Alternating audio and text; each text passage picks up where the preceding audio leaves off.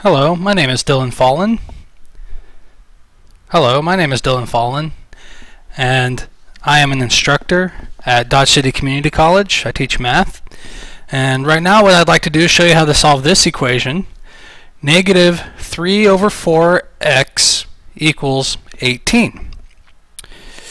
There is a trick to solving this equation which, which gets the job done in one step.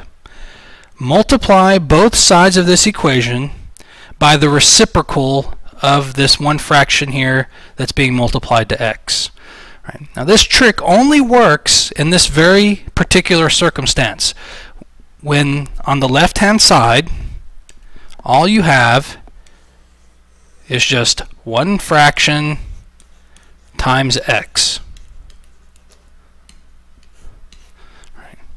If that's where you're at with your equation, you just have x by itself with one fraction being multiplied in front of it, then this little trick works. You can multiply by the reciprocal and it gets rid of that fraction for you all at once instead of doing it piece by piece. Now you could solve this equation for x by doing each piece one at a time, getting rid of the 3 at one point, getting rid of the 4 at another point, and getting rid of the negative somewhere in there as well.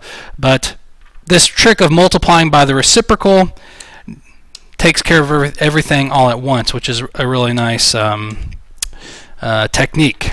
Right? So what we're going to do is multiply by the reciprocal.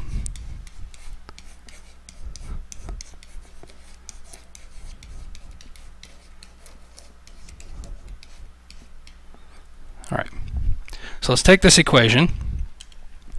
Negative 3 over 4 x um, equals 18 and multiply by the reciprocal of negative 3 over 4. So what is the reciprocal of negative 3 over 4?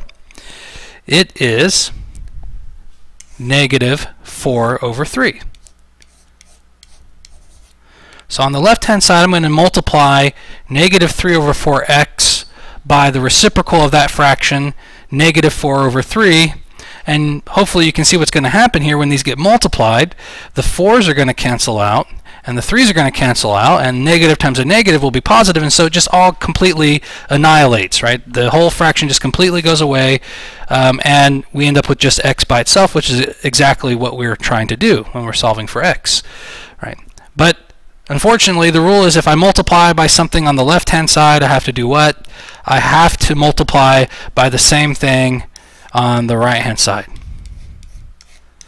Remember, this is multiplication, so I'm, I'm, putting that dot there to emphasize that because without the dot it could look like subtraction to somebody. So hopefully this is enough to indicate to you that what we're doing here is multiplying the 18 by the negative 4 over 3, and that's different than if you were going to subtract. All right. So on the left-hand side, as I already verbally stated, let me go ahead and actually write it out.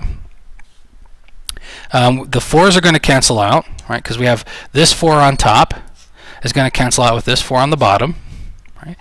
And the 3s are going to cancel out when these get multiplied together because this 3 is on the bottom and this 3 is on the top, and so they cancel each other out. And then a negative times a negative is going to be positive, so the negatives cancel out.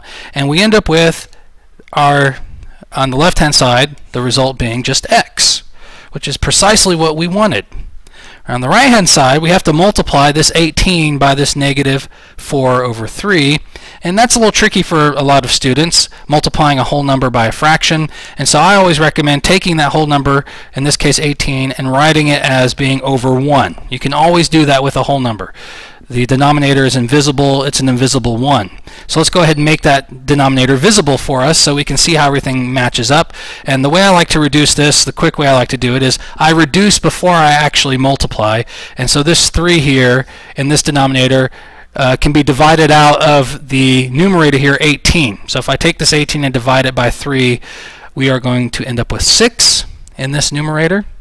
And so we reduce it as much as we can ahead of time, and now I will multiply together. And then this denominator will have a 1 left over. When we multiply these together, I'll have 6 times negative 4, which will be negative 24, over 1 times 1, which is going to be 1. Right. Negative 24 divided by 1 is just negative 24, and that is our solution. So we are done. Thank you.